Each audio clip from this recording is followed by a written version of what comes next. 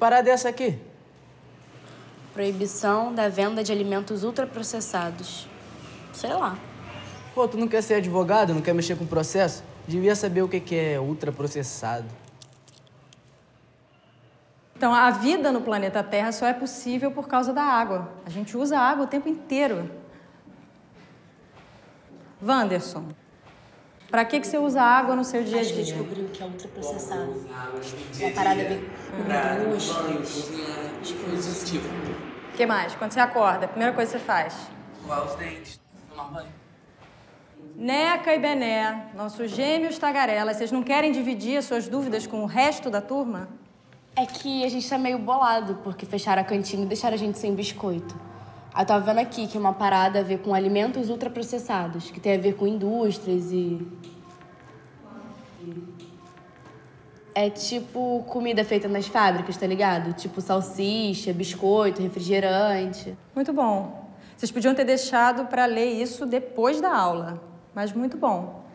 Pô, professora, na moral, com todo respeito, tá difícil. Tamo no luto pelo biscoito. Hashtag chateado mesmo. Então, já que isso mexeu tanto com vocês, por que que vocês não aproveitam que tem que fazer um trabalho para o fim do bimestre e produzem um vídeo sobre isso? Pô, por mais que eu seja artista, tenha esse talento que todo mundo já conhece e respeita, sei nem por onde começar esse negócio de filmagem. Sabe mexer na câmera do seu celular? Sei. Gosta de ver vídeo no YouTube? É a segunda coisa que eu mais gosto de fazer na vida, depois de dançar.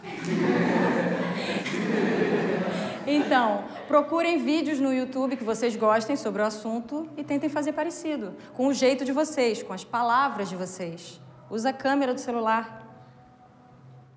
Especialistas chegaram a uma conclusão assustadora sobre os biscoitos recheados. Eles viciam e as pessoas nem percebem. A grande quantidade de açúcar e gordura contidas num produto como esse fazem 14, 15, 16. 16 colheres de açúcar.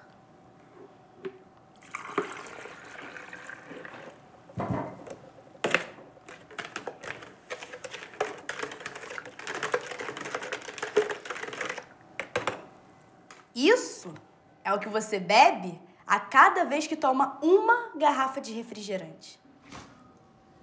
Esse monte de coisa aqui é o que você come no seu nugget.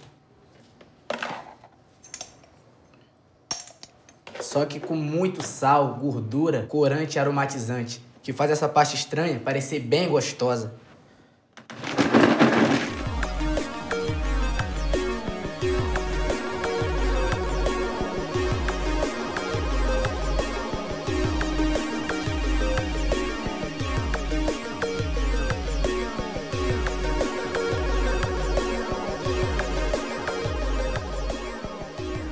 Se a parada é ruim desse jeito, por que a gente come? Ruim pra quem, mané? O negócio é gostosão.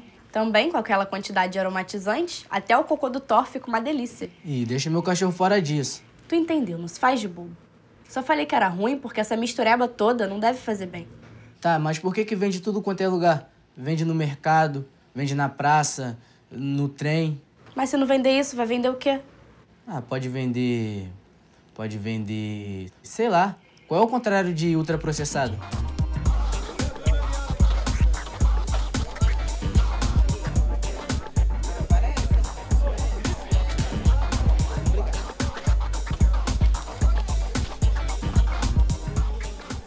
Os alimentos in natura são aqueles que não são processados. São consumidos em seu estado natural ou preparados, por isso mais saudável. Hoje, a gente vai levar um bocado deles para fazer um teste. Acende o fogo e é só deixar ferver cinco minutinhos essa água aqui, que vai ficar bem cozida.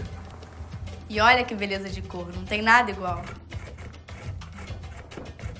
Isso é bem fácil, não precisa nem ser muito fininho. É só cortar na cebola e corta bem picadinho, que nem o Belém tá fazendo pra depois cozinhar na panela. Onde você aprendeu a cortar cebola desse jeito? Sei lá. Acho que com a mãe. E aquela moça lá da TV, como é que é o nome dela? Sei lá, só sei que você descobriu uma habilidade. O quê? Eu? Cozinheiro? Por que não? Sério? Por que não cozinheiro? Tem muita escola disso hoje e muita gente vive bem trabalhando em cozinhas. Sei lá. Mas e o filme? Eu é que pergunto. O que, que vocês descobriram até agora? Então, aqui no bairro foi bem mais fácil encontrar os ultraprocessados do que os alimentos in natura e nativos do Brasil. Também custou um pouco mais caro do que os biscoitos, mas foi bem mais gostoso cozinhar e comer a comida que a gente fez. É, a gente levou um tempinho pra preparar, mas foi bem melhor mesmo. É que a comida que a gente fez é de verdade. E os ultraprocessados não são? Pô, a parada é puro açúcar, sal, gordura, corante. A maioria dos ingredientes tem uns nomes horríveis, é fosfato disso, dióxido daquilo. E é tão difícil encontrar coisas pra ler sobre isso. É, pô, não que eu tenha tentado tanto assim, mas a advogada aqui. Então, essa pode ser a próxima missão do vídeo de vocês. Por que é tão difícil encontrar uma informação em que a gente possa confiar sobre alimentação? Um chocolate que não é apenas um chocolate, mas a própria felicidade em formato de coração flechado. Antes era difícil ser feliz. Agora existem os hambúrgueres do Fat Bonos. Por que amar alguém se você pode amar a sua boneca trole? Arco-íris de verdade era legal, mas isso foi antes de inventar o Rainbow Cookie Mellow. É impressão minha ou a TV ficou mais chata? Só propaganda, mané. E você viu? Até parece que esses negócios são bons. Você acha que a propaganda tenta influenciar a gente? Lógico, né? Lógico, por quê? Até anteontem a gente tava desesperado porque a cantina não ia vender mais biscoito. Isso é, mas por que, que eles precisam apelar tanto pra vender?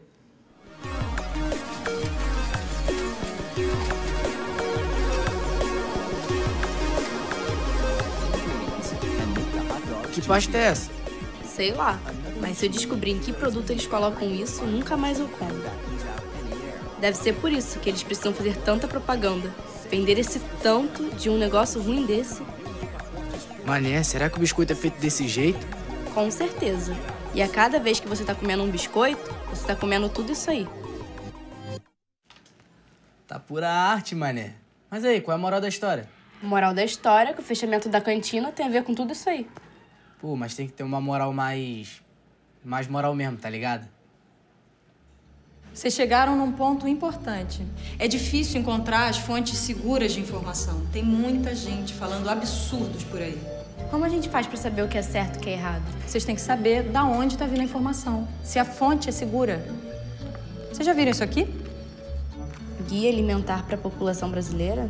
É uma publicação do Ministério da Saúde que fala sobre como ter uma alimentação saudável. Ele é muito interessante e é bem fácil de ler. Todo mundo deveria ler esse guia. E aí tem tudo que a gente precisa?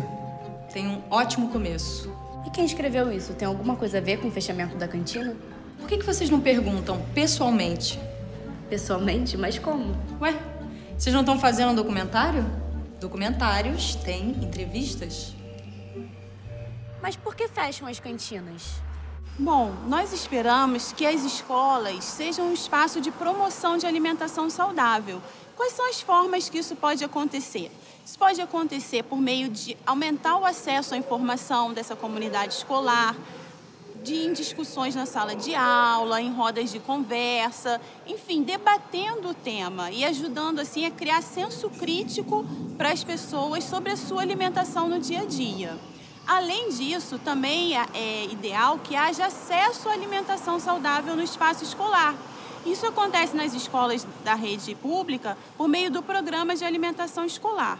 E uma terceira vertente de ação é a regulamentação de cantinas escolares quando elas existem. Porque, em geral, as cantinas escolares vendem alimentos de baixo valor nutricional que não contribuem para a saúde nem das pessoas nem do planeta. São alimentos que são produzidos de uma forma é, muito industrializada, né, com excesso de sal, de açúcar, de gorduras.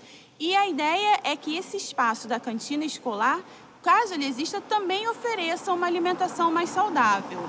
É, esse, esse somatório de ações é que colabora para a alimentação, para a promoção da alimentação saudável no espaço escolar.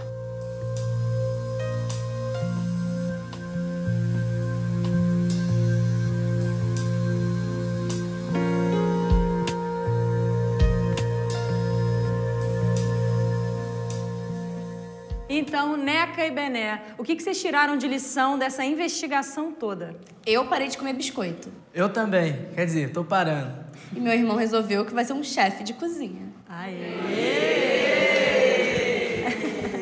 Uau! Aqui é à disposição, chefe de cozinha, dançarino e cineasta na parada. Então só falta saber se todo mundo tá curioso para saber o que, que tem dentro desse DVD aí. E aí, turma, vocês estão curiosos? Então, o prato do dia é um documentário que defende a comida de verdade.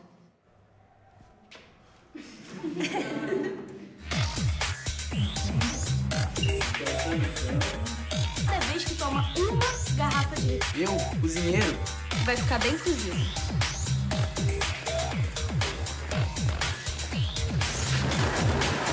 E olha que beleza de cor, não tem nada igual. Desculpa, só mais.